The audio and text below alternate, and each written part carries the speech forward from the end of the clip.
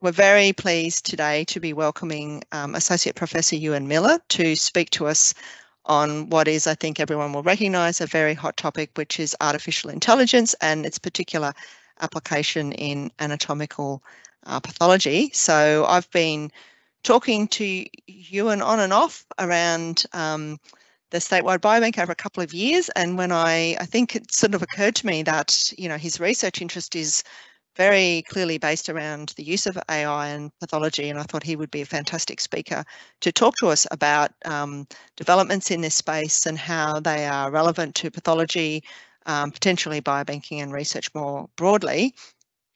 Um, so, uh, so Ewan, has just told me that he's originally from Scotland, which I think you will realise when you hear him speak. Yep, just if people could stay on mute, that'd be fantastic. Um, and he is currently a senior staff specialist histopathology with New South Wales Health Pathology, and he's based at St George uh, Hospital, and he's also affiliated with the University of New South Wales. Um, he'll be telling us about uh, his recent work in this area and also telling us more broadly about what the future might look like in terms of AI applications in anatomical pathology. Uh, so I think we'll certainly have time for plenty of discussion after the talk. If you've got questions, you're either very welcome to add those to the chat or please um, at the end, you know, I might ask people to put up their hands and we can call on you to ask uh, any questions that you'll have to Ewan. But Ewan, once again, thanks very much for your time and we're really looking forward to your seminar. Thank you. No problem. Thanks, Jenny. Um, and thanks uh, for the invitation to speak to everybody today about AI, which is kind of a pet topic of mine. Um, so just the outline of what I'm going to talk about is just sort of it's more of a journey really. I've sort of been involved in this sort of space for the last four, nearly five years now. It just seemed to me it was kind of an interesting area to get into. So just a bit of background, digital pathology, image analysis tools and how I got into it, and then sort of more broadly about how AI works in pathology, how you do it, and then sort of finishing on sort of current uh, sort of tools that are available and a, a, fellowship that I was fortunate to get, which has sort of just ended. But I've spent the last two years working with Paige for a big AI company in New York. So I've been doing that remotely for Sydney uh, for the past couple of years. Um, so that's been very useful in this space and sort of learning all about it. But um, just a couple of disclosures. Just of course, first to say the most important one here is um, I've got limited understanding about computer science and AI, so you can be involved. You don't really have to know anything about coding. You just got to know the principles of, of how it all works, and you can certainly get involved in this area. And obviously, just to make it clear that I do have a research collaboration with Paige moving forward. So I do talk quite a bit about um, my work in that area. So back to the, you know, where we are at the moment. So traditional anatomical pathology, light microscopes, you know, are they going to become antiques? The answer, I guess, probably yes in the next five to 10 years you know, the way we've been doing pathology has not really changed significantly in the last 150 years. You know, we're still using dyes, staining tissue, looking down a microscope. You can see Ramon Cajal, who's a famous Spanish neuroscientist and pathologist here, who's kind of got the Friday afternoon, five o'clock appearance on your face, a bit disjointed and a bit unhappy having been looking down a uh, a microscope for long hours of the day. And you know, he got the Nobel Prize for Medicine over 100 years ago for his work on neurosciences, Purkinje cells, and other things that he discovered. But really, when you think about what we do today, it's not really that different. You can. This is my desk here It's St George. So there's just piles of slides um, a light microscope, a, a, sort of simple computer interface, and we're still looking at the same sort of blue and purple slides to work out morphological and sort of moving forward molecular diagnoses as well. But thinking about how things have changed, we're kind of moving into what people are describing as the third revolution in, in pathology or anatomical pathology um, just before I got into pathology. And again, you know, this is going back into the, the, the mid 80s when immunohistochemistry first was introduced. Everybody thought, you know, this is going to be the end of the pathologist. We don't need them. We've got IHC. This is going to be the best thing since sliced bread. Wasn't the case. It all happened again with the genomics revolution in the early 2000s. You know, we'll get a genomic fingerprint of tumors we can do FISH, we don't need pathologists, wasn't the case. And again, everybody's talking now digital pathology and AI. Are we going to get rid of pathologists? We don't need pathologists. And again, that's not going to be the case. You can just speak to a radiologist. The radiologists are still, you know, using uh, are still required. You still need humans to work with these interfaces. So I don't think it's going to be any different. It may th make things, you know, more efficient, but you're still going to need uh, pathologists to get involved. So before you can get into AI, we need to know all about digital pathology because you can't do AI on glass slides, obviously. So digital pathology is happening. It's moving forward all over the place. We're kind of a bit behind the curve at the moment. But basically all you're doing with a digital scanner is you're putting the microscope inside a, an electronic box here. This is a scanner that we have in our department. That's a Roche DP200. And you can scan these slides digitally using high resolution scanning. So in about a minute or so, you can take a standard glass slide and you can convert it into a two to three gigabyte whole slide image in a minute or so. But this has got a bucket load of data in it. And this is what you really need to, to play around with. So this is really changing the way that pathology is going to be um, performed in laboratories and microscopes are going to disappear slowly and they're going to be replaced by screens, as you can see here, on a very tidy desk, no mess, no slides, all very organized, very relaxed looking pathologist here.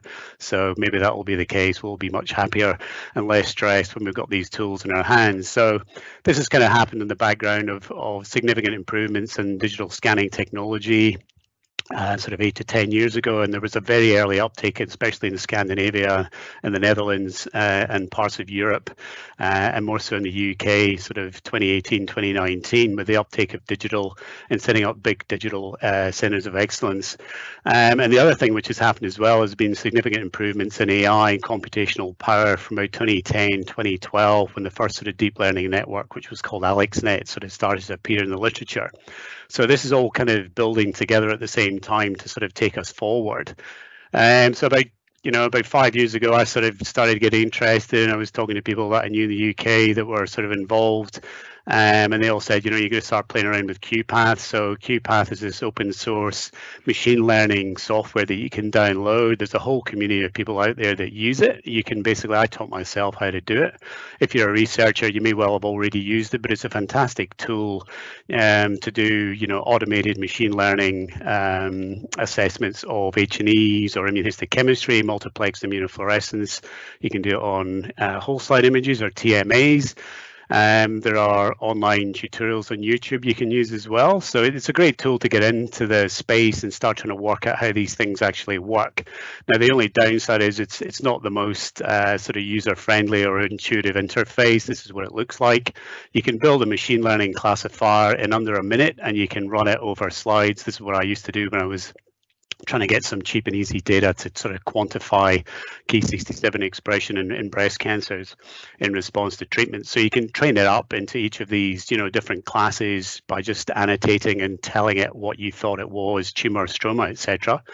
Um, and very quickly, you can take a whole slide in your tumor, you can highlight the bit you want to train, uh, draw in little annotations, and then convert that into these sort of pixelated images, little cartoons, and it converts all the different cells into, you know, positive, negatives, tumor, stroma, and then it will spit out a bucket load of data very quickly. So you can do a key whole slide section of Ki67. you know, you get an answer in, you know, four or five seconds. So it's a fantastic resource. Okay, but it does it does have some drawbacks because it's only got basic machine learning components inside it. It's not got deep learning, so you can train it quickly, you get data quickly, but anything more complex, you really have to go to another platform. Um, this was just another thing that I did very quickly as well, was looking at tumor stroma ratios as well, which was quite a hot topic a couple of years ago. And again, you can do this in whole slide images and TMAs, just like we've got here.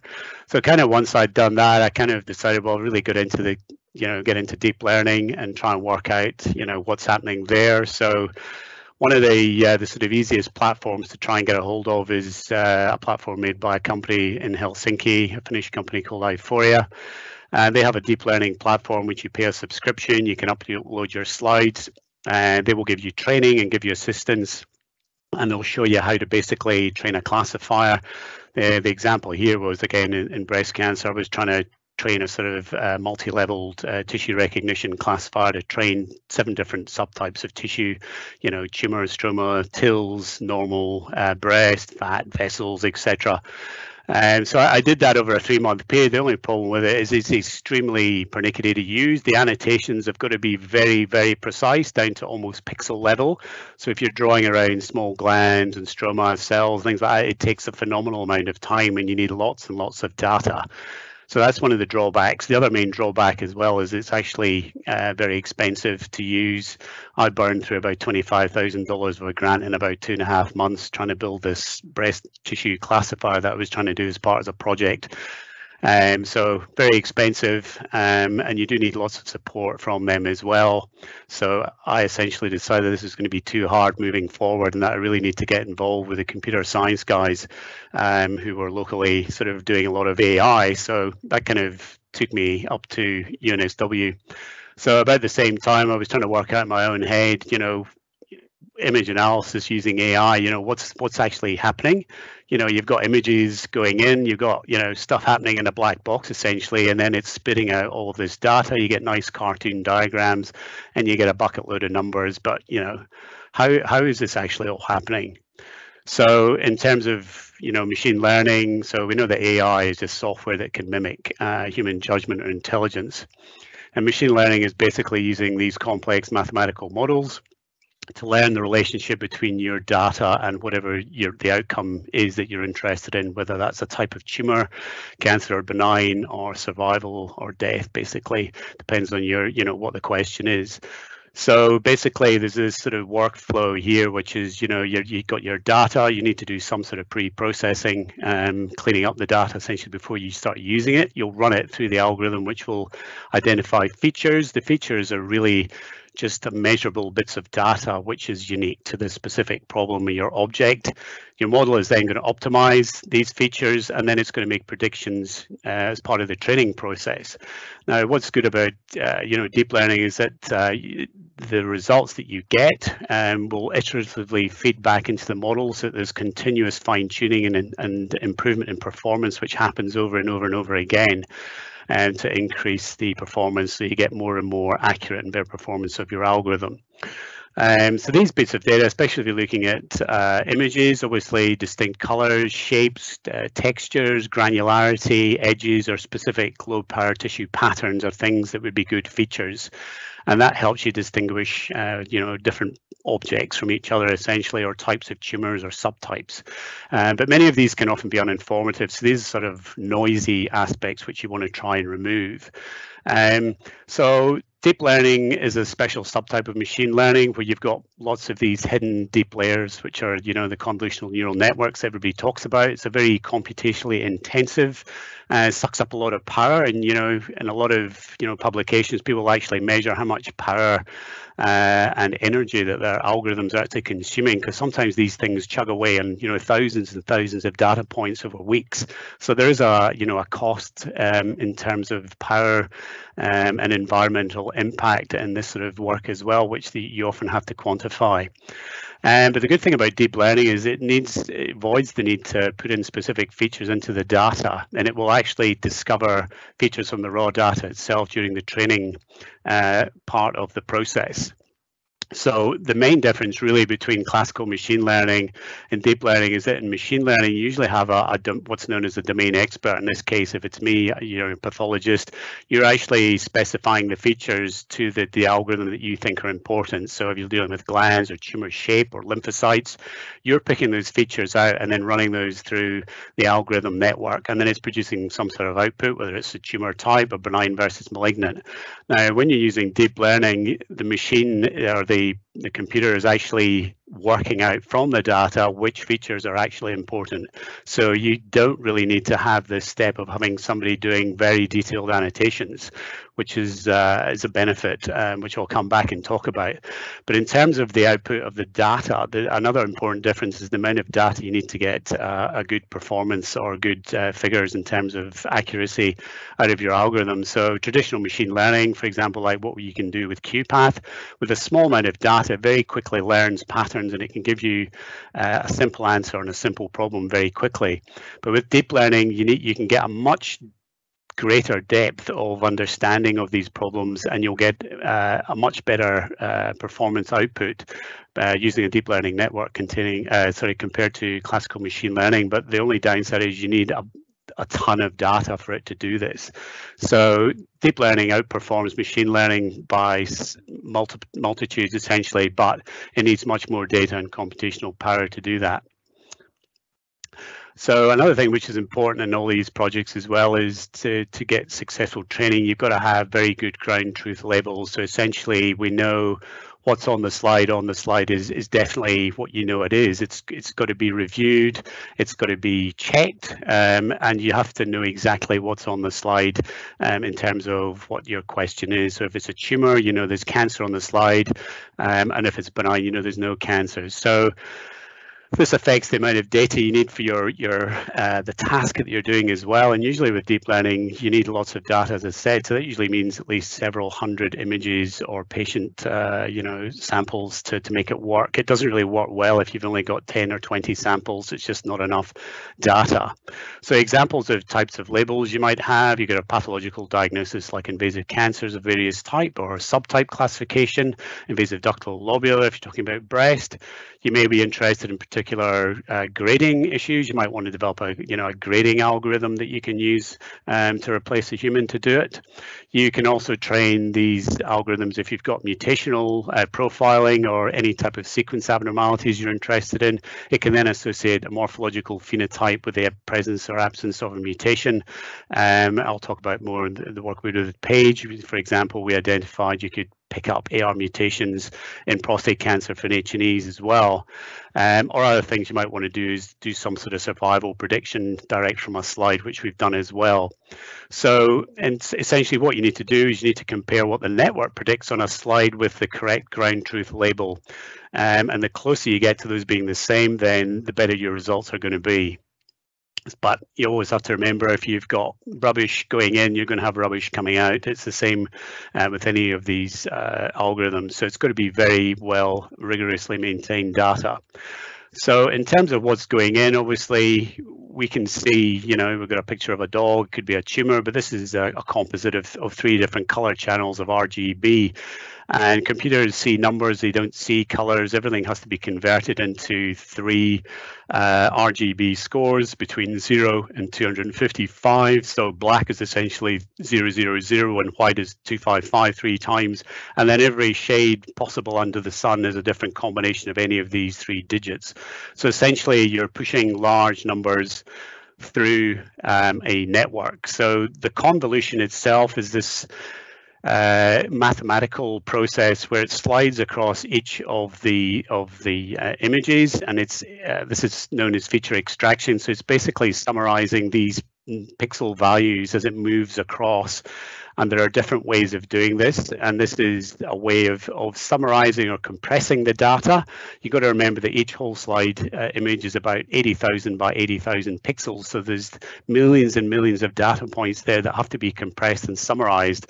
So this is sometimes is known as dimensionality reduction, where you end up with a sort of abstract version of the image you started off with, which really uh, captures all the important features. And this goes through multiple layers of the convolutional neural network, where the, each uh, output of one layer forms the input to the next layer, and it becomes more and more compressed and more abstract. So it can pick up on subtle things of spatial distances, you know, granularity, colors, textures, shapes, and low power sort of spatial features as well.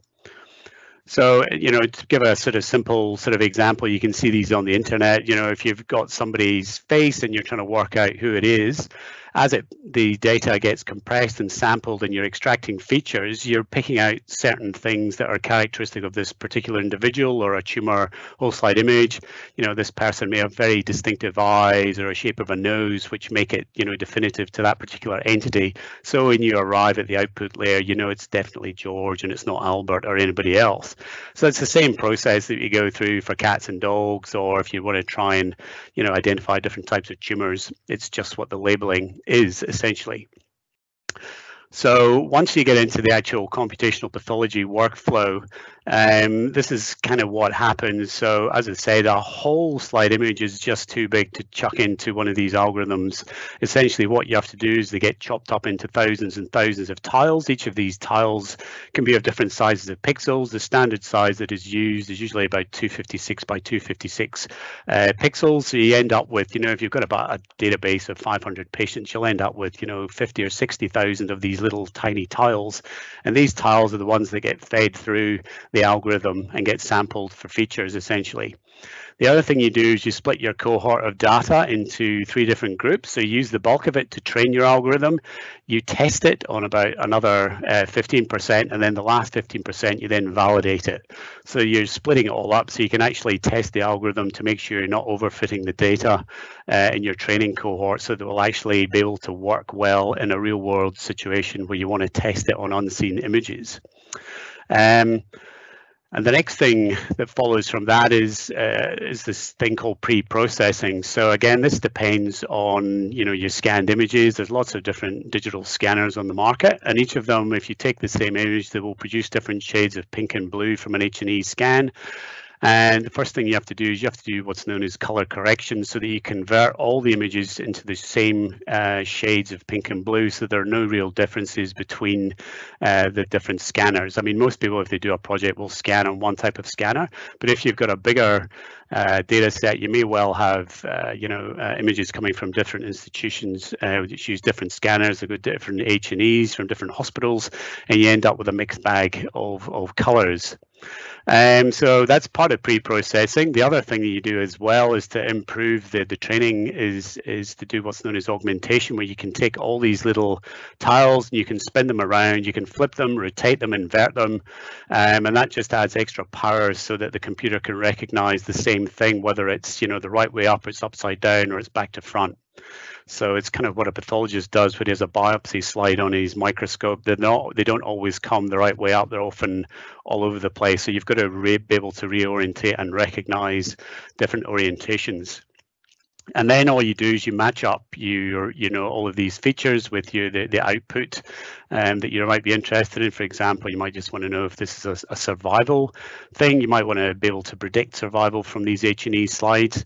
Um, and then you take you know your ground truth labels you compare uh, the predictions with the ground truth and then you come up uh, with your uh, parameter which is the area under the curve the AUC which is used to sort of assess how well your algorithm is performing um, and as I said, this this uh, you know feedback process where you iteratively improve uh, the process goes on. You can run this training over about 20,000 times um, to minimize the error between the predictions and the actual ground truth. So this is known as the loss function uh, process if you want to get into the sort of lingo of, of computer science so when you get your performance matrix, the uh, the area under the curve of the uh, receiver operator curve here gives you the sort of idea of how well you're performing.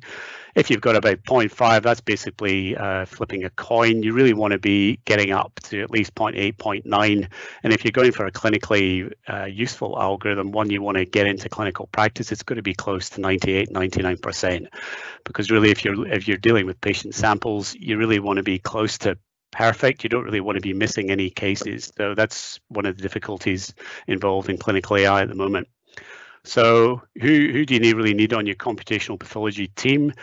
Well, um, obviously you need high-level computer science skills. So you need people who can code, people who've got high-level math skills, doing lots of linear algebra, advanced calculus, and can use programs such as Python, PyTorch, and TensorFlow, which are all the deep learning uh, software programs that uh, are used to run these algorithms.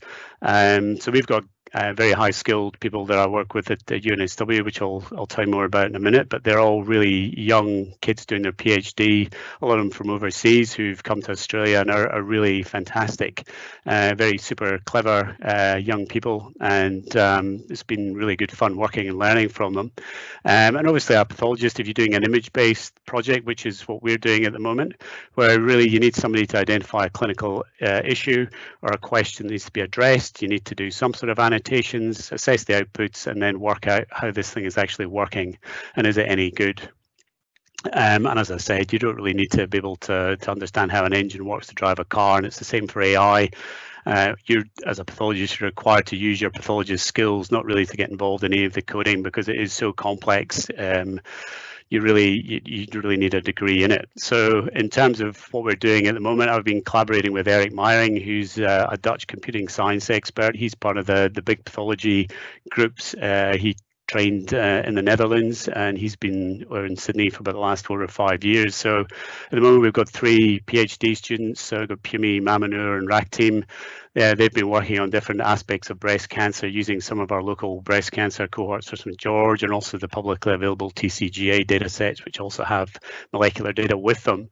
And they've been pumping out papers in the last couple of years. We've been looking at, you know, most of these are things that we can do from H&E slide, like predicting survival in triple negative breast cancer, looking at tissue microenvironment analysis and outcome using multiplexed immunofluorescence. Uh, Mamunur has been looking at spatial transcriptomic predictions from H&E slides, and he's now moving on to subclassifying different types of breast lesions and pre-invasion lesions on H&E slides as well. Um, and Raktim's been working on doing PAM50 gene expression, subtyping, and multimodal risk prediction in ER-positive breast cancer.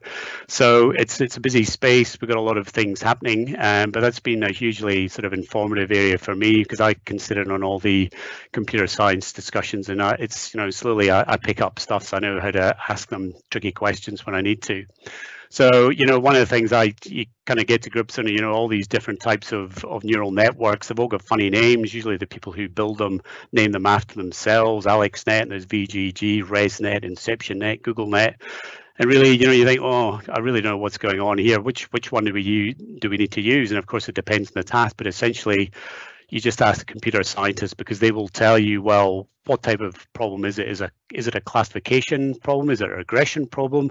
Or do we want to segment, you know, a bit of tumor on a slide? How are we going to do this? So there are different uh, approaches. You know, these heavily supervised um, approaches is where you need, really need to draw around, do lots of uh, annotations on a slide. That is hugely time consuming. And if you've got, you know, 500 or 1,000 slides that need to be annotated, you're just not going to get a pathologist to do it. So for the most part, what we've been doing, we use a technique using uh, called weakly supervised learning or multiple instance learning, which really only needs you only need to know basically there's if you have a slide that there's cancer somewhere on that slide or if it's benign you need to know that it's completely benign on a slide level not down to the specific labeling the tissue. That saves a lot of time and effort but it's actually um, very accurate and there are other uh, techniques known as unsupervised learning and transfer learning, um, which uh, you know you can read up on about. But uh, essentially, you know, always ask the scientists; they'll tell you which one we need to do. So, you know, what what do we do with all of these applications? So, what can we use them for? So, currently, and I'll come and talk about this a little bit more. Um, the commercially available ones is basically developing decision assisting sort of software for clinical practice. So detecting cancer on a slide, subtyping cancers, grading cancers, counting mitoses, quantifying uh, biomarkers, especially in breast ER, PR, Ki67, HER2. These are all kind of things that are already up there and there's multiple companies doing this already. Uh, this sort of takes this part of the of the diagram here. But sort of more in the research space, but this is going to be more important moving forward in the next five or 10 years, is really um, getting into personalized medicine, predicting disease outcomes, risk profiles, choices of targeted therapies, choosing therapies that are going to really uh, be optimal uh, for for outcomes and good responses. Um, as I've mentioned, you can screen for genomics or mutational profiles, helps you to enrich, you know, massive populations of slides and pull out those that are going to be worthwhile, and doing this very quickly and cheaply for downstream molecular testing. Some expensive multi-gene tests like Oncotype DX or PAM50 you can do on glass slides as well for a fraction of the cost. And obviously you get the result in a few minutes, not six weeks later. So this is going to have a, a big impact on the way medicine is uh, practiced, I think, down uh, the line. Um, and it's it's going to really change the way we practice. So you know, just to show you, there was this landmark paper about two years ago in Nature Cancer, uh, showing really the proof of principle that uh, you can identify uh, mutations across different types of cancers uh, to various extents. Obviously, these were all done on TCGA, uh, and obviously it depends on the number of cases and the number of, of mutations you have in your cohort. So when you look at the AUROC here again, some of them are particularly high, and a lot of them are below this sort of uh, false discovery rate cut point that you really need to be above. But you can see there's uh, common things, TP53 and PIK3CA, and MAP kinase often are the ones that pop up especially in breast. There's only a handful there that have got a sort of semi-reasonable uh, of, you know, about 0.7. Again, here gastric probably a little bit better performing.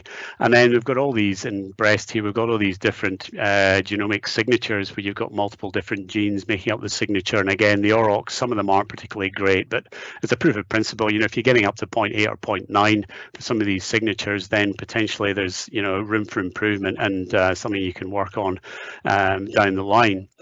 So that kind of took up took me up to about 2020 uh, and beyond. And at that point in time, there was a, a, call for a grant application essentially through MRFF, which I put in for, and I nearly fell off my chair when I got the call to say, "Well, you've got one." So what they did with what was known as the Research Exchange and Development in Industry fellowships, the REDI fellowships, was to take uh, researchers and put them into the sort of medtech sector, get them working with a big industry partner uh, for a couple of years or so, and then really take that experience and bring it back to your research organization that you're working for. So, you know, clinicians could apply as well. So I thought, okay, let's give it a go. I made a few calls and spoke to Paige, um, and you know we managed to come up with a project, and we were fortunate to get funding. So I was doing this remotely from home.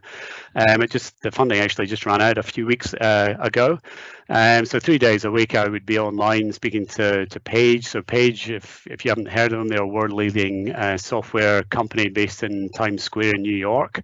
Um, they have a essentially a global footprint now. They've got uh, the company. I think there's only actually about ten people in New York. Everyone else is all over the states and Europe, um, and North America and South America. Um, and they basically are the one of the biggest and probably market leading uh, digital pathology AI vendors. And they've got the only FDA cleared clinical pathology AI product, which is called Paige Prostate, which detects prostate cancer with a very high level of sensitivity. Um, so I got involved with their team, and essentially they were a spin-off from Memorial Sloan Kettering Cancer Center, which is the world famous oncology hospital in New York, and they have uh, access to all of their glass slides, and they basically get them all scanned uh, from the hospital, and they've got access to, you know, at the moment I think it's probably up to about six million glass slides, and these are all reviewed by, you know, world famous experts. They get a lot of uh, cases which are sent in from all over the world for second opinions, so they get access to a wide variety of stain quality, uh, different diagnoses, and things like that, which they feed into their training.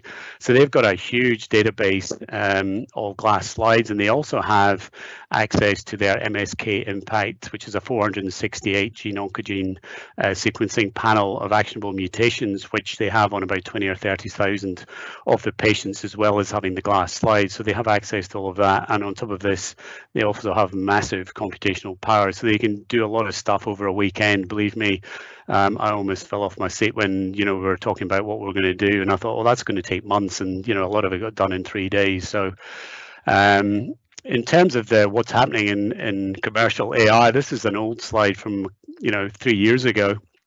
And there was a handful of companies. You know, one of the first was Aiforia, which we talked about, and Path AI, Ibex, who are sort of also quite a big company, and then Paige appeared as a spin-off by 2018. Um, but since then, this is what it looks like now. There's probably another 20 or 30 companies. Um, I sort of tried to keep up, but it's just mind-boggling. Usually, every month, there's at least one or two new companies will appear because there's a big market out there, and not all of these guys are going to survive. The big ones are going to swallow up some of the smaller ones, some of these companies only tend to work with uh, big biopharma companies. They're not really getting into the clinical space like Paige uh, and Ibex are doing. Um, but there's a lot of competition out there, so we'll just have to see how it all turns out. So in terms of what's possible with, uh, you know, these commercial uh, cancer detection algorithms, this is the Ibex Galen uh, system here, which is just an example of, of, what it looks like. So they, you know, have a very highly accurate uh, invasive breast cancer detection system. They again use a different type of uh, AI to what Paige use. They use more pathologist built annotations. They had a team of about 200 pathologists who were drawing around glands and you know very finely annotating things. Paige used a different approach of using multiple instance learning where they can just uh, give the algorithm, you know, benign slides and cancer slides, and then the algorithm will work out which bit is actually cancer from the pixel uh, data, which is uh, a big task. And um, so this is what it looks like. Essentially, get this heat map. So the the red implies a very high likelihood of cancer, and then it sort of cools off to a blue zone. Anything which is negative is not invasive cancer. So this is the sort of stuff that if you're using it day-to-day -day practice, that you will get uh, presented with. Um, and there's different ways that you can present the data to and sort of through the user interface to the pathologist. So in terms of um, what Paige have and what I was involved in doing, I was uh, sort of largely involved in building the Paige Breast Suite. Uh, there was various things which were underway when I when I joined the company a couple of years ago. Um, and the other thing I was involved in was in developing digital biomarkers. So mutation prediction from prostate cancer was one thing we got involved in, um, and predicting androgen receptor mutations from an H&E slide so you can enrich screening populations. So things that are currently available again, cancer detection and subtyping, you know, ductal lobular, all the pre-invasive atypias and DCIS, breast sentinel node, um, detecting mitoses and invasive cancer for grading, uh, detecting HER2 expression from H&E slides, and then AI-enabled quantification of the usual biomarkers. And there's a similar product for prostate cancer, but still the main time-saving advantages, especially for sentinel node and prostate cancers for a pathologist, this is involves wading through. Uh, for prostate cancer, you could have up to 70 or 80 slides of one on one patient, and you may only end up finding, you know, a single one millimeter focus of cancer. So the Paige prostate algorithm, which was trained on over 32,000 whole slide images from about 8,000 patients and sampled across 800 institutions across the globe, um, negative predictive value is 99%. I don't think it could get any higher than that. So basically, if the algorithm doesn't find cancer, you know that there's not going to be cancer on the slide. So it allows you to uh, quickly find what you're looking for, order any IHCs, and save a lot of time and anguish going through lots and lots of slides and levels and doing immunohistochemistry. So it's 99 percent specific for cancer. And this product is the only one which is currently FDA approved. It's the only one on the market. So it will very quickly take you. This is the FDA approved version, which has got the crosshairs. This is what they had to do to get FDA approval. Um, the other non-FDA approved version has got a different sort of user interface. But if you want that one, this is what it looks like. And it gives you this little uh, pop-up box here. It will tell you focus of interest. It gives you the detection. It tells you there's a suspicious tissue heat map. And that's the little icon here, which you press on to get the AI output. Um, and the other thing it does as well is it will grade and it will quantify the cancer on the slide. So it will automatically measure where it thinks the cancer is. It will highlight, you can see here, it sort of pales out the benign tissue and leaves in a, nice clear H&E where the invasive cancer is, and then it will actually grade it. So you can see the percentages here, pattern three and pattern four, and it gives you the Gleason score, three plus four equals seven, and it tells you that 53.15% of the core is involved, and there's the area of carcinoma, and it measures 7.18 uh, millimeters. So these are things that you would actually have to do manually or attempt to do manually on each biopsy. Um, and for one patient, you can have up to 24 sites. So you, you can spend a lot of time uh, sort of doing vague calculations, which are not particularly accurate, but they take uh, a bit of time to do before you format the report. So um, Similarly to that, you know, if you've got breast sentinel nodes, you can spend ages going through lots and lots of, of slices of lymph node trying to find a little deposit, which is, you know, one or one and a half millimeters. The big deposits, again, you can find easily, but the micromets take a lot of time. So the sensitivity for the sentinel node detection here is nearly 98%, negative predictive value 95. And again, these are trained on large numbers of slides, 32,000 whole slides images of uh, lymph nodes. Um, another thing again, recently that we worked on was developing uh, mitotic uh, detection. This is important for grading breast cancer. And again, it's one of those time consuming tasks that if you can automate it, you can save a lot of time. What pathologists have to do uh, for each breast cancer is you have to assess and find the hotspot or the area where there are the greatest number of mitoses in an area of approximately two millimeters, which in the old days used to be 10 high power field. So using this algorithm which Paige developed, they will actually find the hotspot and it will tell you where it is. It will highlight it and it will actually give you the score in the hotspot. Um, you obviously then have to review each one and make sure that you agree with, uh, you know, is this definitely a mitosis? There are some issues around, uh, you know, look-alike things that can look like mitosis. So all you to do is just confirm the number and then you're done basically. So that can save a lot of time. So just also to say that if you're interested in doing this Paige offer a free trial, if you want to get online, if you're interested in, in having a look at it, you can play around with it yourself. Just go to this uh, website here and just register your email address and you'll get access if you want to use it and look at it and see it uh, up close and personal. So in terms of where we are and current problems and barriers, these are the main sort of areas. I think uh, access to sufficient training data is a big problem you uh, know, if you want to get very high performances for clinical use, where you need to get an area under the curve of, you know, at least 0.95 or 0.99 if you're going to get regulatory approval, it's a bit of an issue. So I think going forward, there's going to have to be bigger and larger collaborations between you know healthcare uh, systems, uh, industry. You really need to, lots of high quality data, but that in itself brings ethical and legal issues around confidentiality, access, safety, IP, etc. So one way that you can actually get around this is to use a, a training uh, pattern which is known as federated learning, where you can actually take your algorithm and take it into the local environment, train your algorithm locally but export only the results of your model weights from each site. So you could have a collaboration that could be in five different hospitals, different jurisdictions around the world.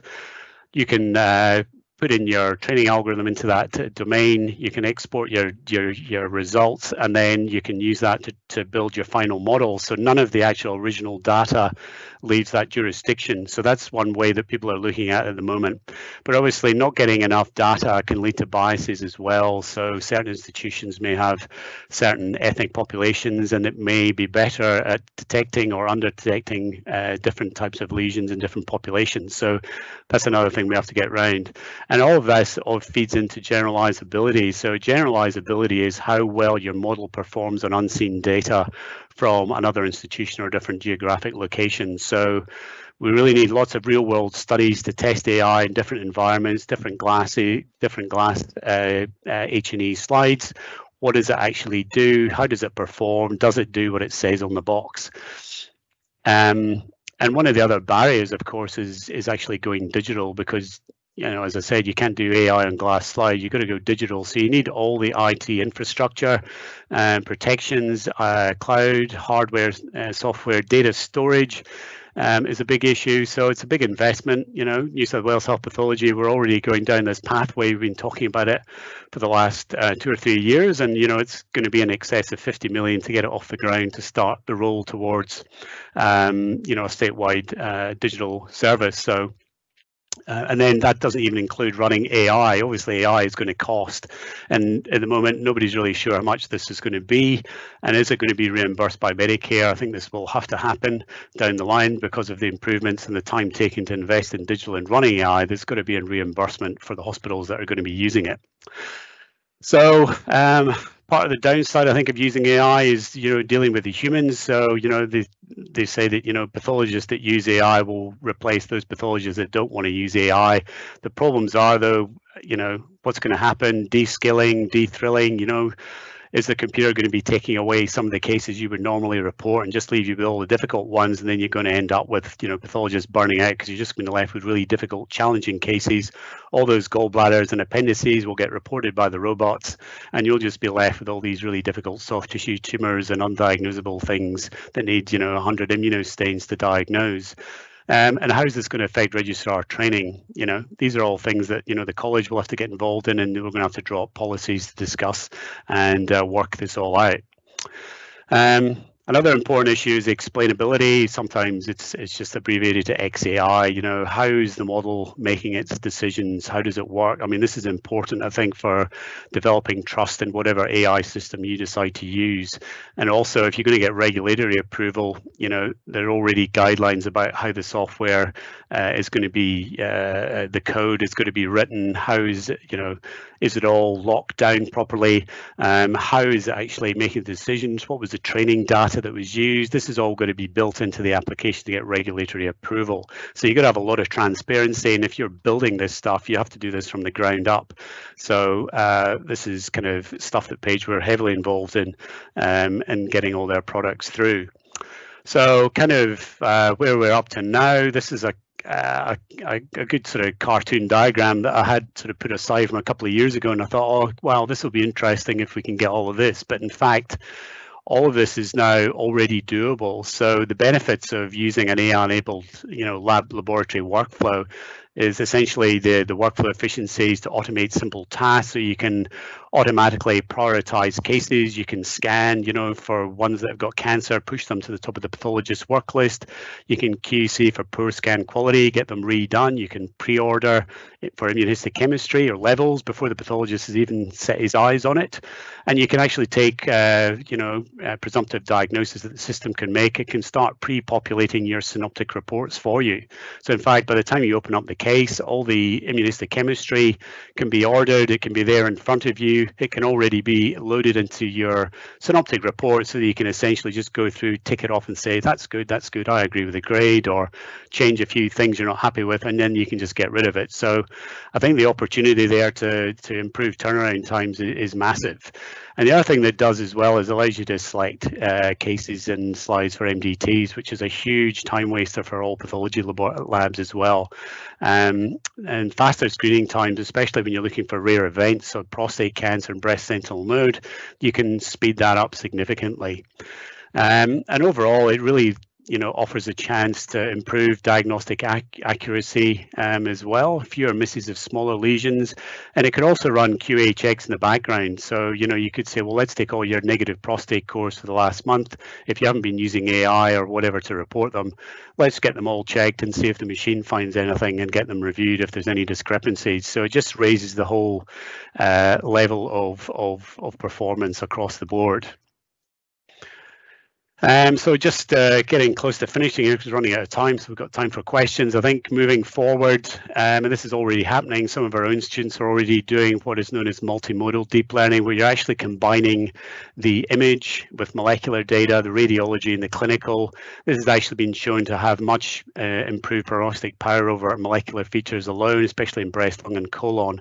And what you can also do is integrate these with what, what's known as large language models of AI, which can actually dissect through swathes of text. It's almost like reading books it can pull out critical pieces of information and pull them into your model and use them not only for just doing pathology, but clinical decision making and obviously for research tasks. So for things like biobanks, this is going to be a huge game changer to get access to all this sort of data that you can get out of the uh, EMR, which we have, which is going to be a fantastic tool.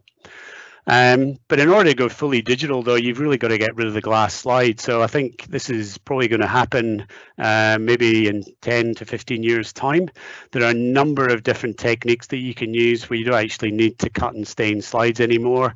Uh, one of them is open top light sheet microscopy, where you can apart, uh, take the tissue block once it's been fixed and you can clear the tissue out um, of the FB, FFP blocks. You can scan it and it will generate images, which you can then use AI to do uh, virtual H&E staining. But it also gives you three dimensionality, which you don't get from a, a four micron section. So you know, if you've got a block of tissue, which it could be up to four or five millimeters thick, you can actually scan through it like a, you know, almost like an MRI or a CT scan, and you can do three-dimensional recreations of tissue, which will be a new avenue of of of research in the future. So this is still a, a bit off yet, but I think once it goes into this sort of state, we can eliminate the glass, and then you'll just be left with tissue blocks that you can go back and rescan and almost paint any color you wish. Um, so, but you know, what what could go wrong? And this is just uh, you know, there's funny stories on the internet. So if you're a follower of Scottish football, as I do from time to time, one of the smaller clubs in Inverness decided to invest in using AI to automatically detect the soccer ball, but unfortunately, their their training. data wasn't that good because the camera kept going back to the linesman's bald head because it looked like a soccer ball. So in fact, the three goals that were scored in this game were all completely missed by the camera. So you always have to remember it's kind of a something to bear in mind is thinking about using AI was how was the model trained, uh, what was the data that was used, and how good was it? And always remember that human supervision is still going to be required to check the output is actually valid. Um, because you can remember seeing these, I'm sure you've seen these on the internet, you know, lookalikes, very, very different uh, entities, but look very similar. So you've got to take all this with a pinch of salt and just make sure the humans uh, stay in the loop. Uh, so just to finish, just a few acknowledgements of everybody I work with at Paige. I had a great time working there across uh, several different groups and you know different time zones and different parts of the world. They're a fantastic organisation. I was very lucky to be involved with them, and also with my collaborators at UNSW and our great uh, supervisors and PhD students. And also thanks again to uh, the MRFF and MTP Connect who were good enough to give me the opportunity to get funded and work with Paige. So with that, I'll uh, say thank you and happy to try and answer any questions. Thanks, Ewan. That was amazing. I feel like I've just learned. I've learned so much, um, and particularly, yeah. Thanks for sort of describing the difference between machine learning and deep learning. I think I was probably just nodding um, benignly when people would use those terms, and now I feel like they've actually I've actually understood. Dan, I would have been very disappointed if you had no questions. So please go ahead. Please go ahead. Uh, a great talk, and and uh, you've you've echoed what's been going on in my mind for for many years, and and I think it's got and that was fabulous. It was really good. Um, the question I have and and always come back to is that the idea of a gold standard. And our gold standard is the human eye, the pathologist. But we all know that pathologists are human, therefore they're not perfect. So the golden eye is a little tarnished.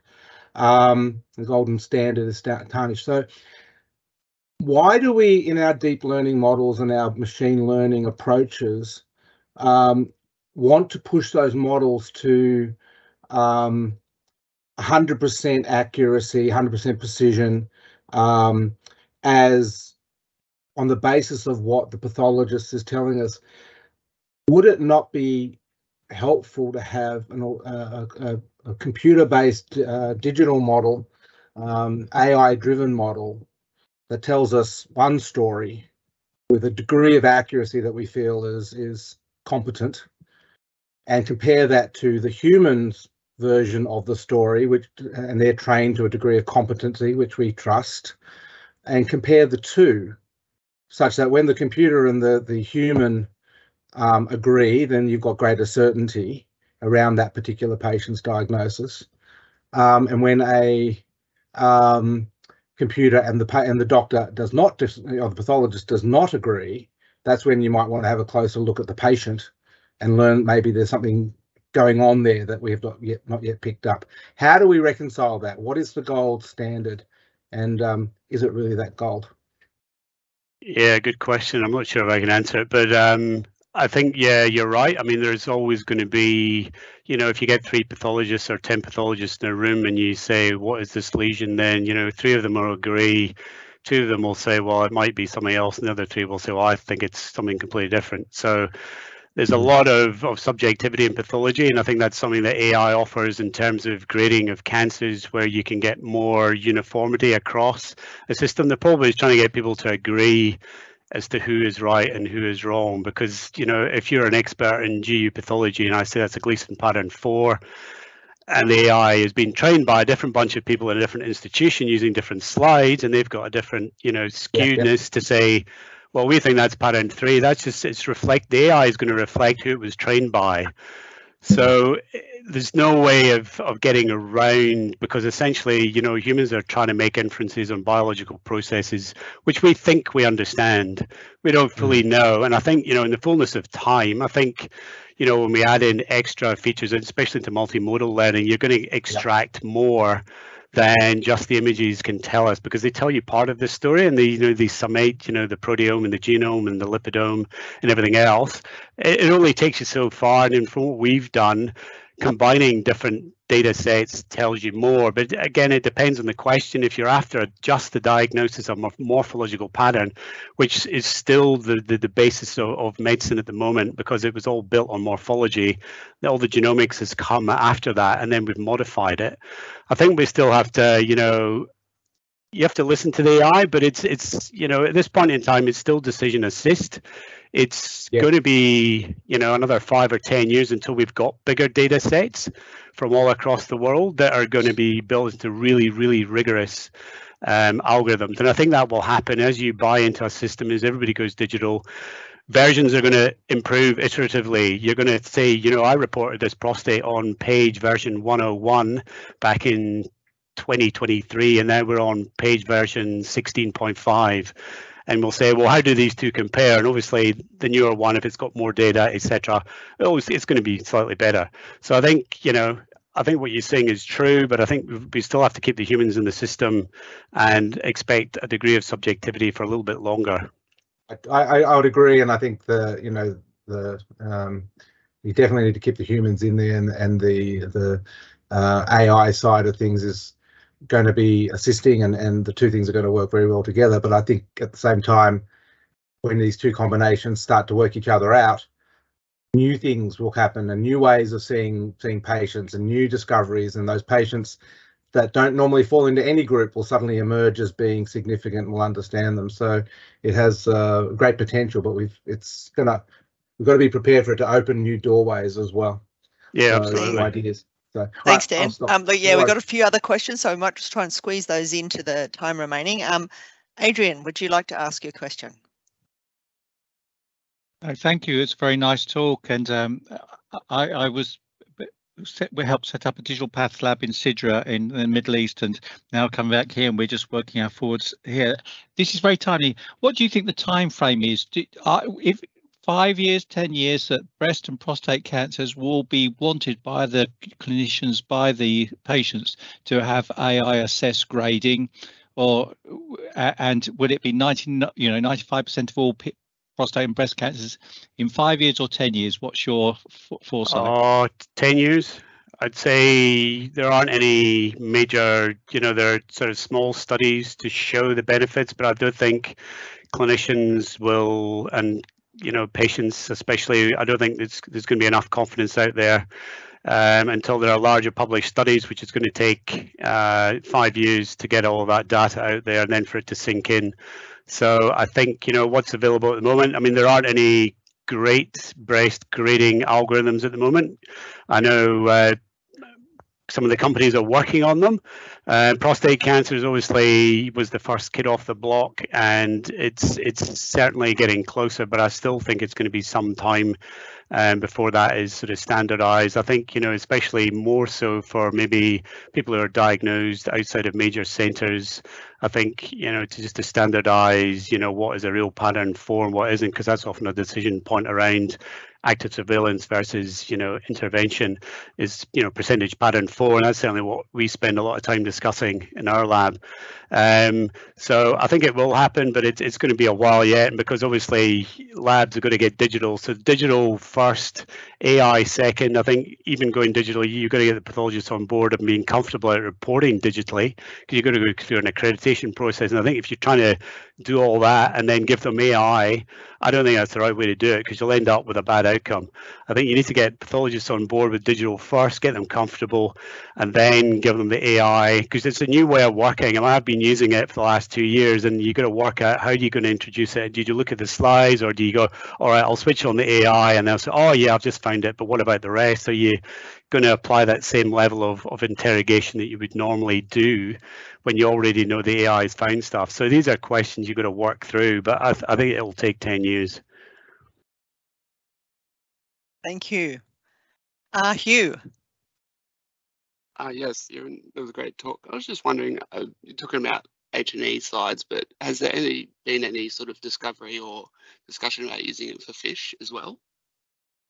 Uh, yeah, I mean, I've seen some papers. I mean, you can basically train it around anything basically. I mean, you can, you know, use any color of, of stain that you like, even in, you know, the realms of renal pathology, which has got five or six different colors, you can use that very successfully. And I'm sure, um, and we haven't done it on FISH ourselves, but I know for things like HER2 CISH, where you're doing dual color, you, there's, you know, Roche have already got an algorithm that does that. It will pick 20 cells, it will count them, mark them all up, and it will serve them up to you on a little you know thumbprints on the side. So that's already doable, and I'm sure for other types of FISH as well, uh, or rather than you know FISH with a bright color. I mean, the only problems with you know capturing low light intensities is is trying to scan the image, which takes hours. So you know if you've got low level FISH, it would take a while to capture it, but I'm sure it would be doable.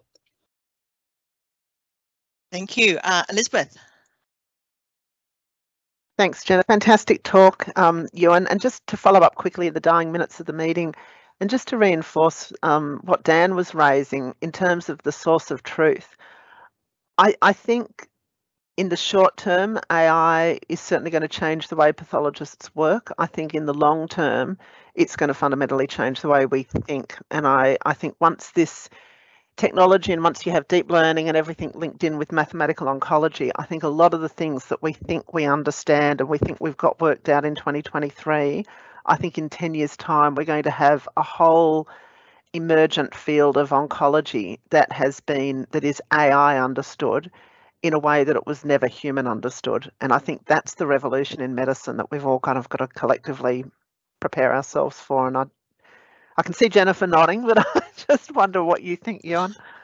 Oh no, I think so because there's there's even stuff that you know talking about things you don't understand that when we did our you know survival prediction of, of triple negative breast cancer there were some features that were strongly predictive of outcome that i couldn't make any sense of and one of them was cancer infiltrating fat now you would you would have thought that that was something you see all the time, but this has popped up also. We found it in another paper in colorectal cancer with particular patterns of infiltration in fat by cancer. Now I couldn't tell the difference and I couldn't see anything in it.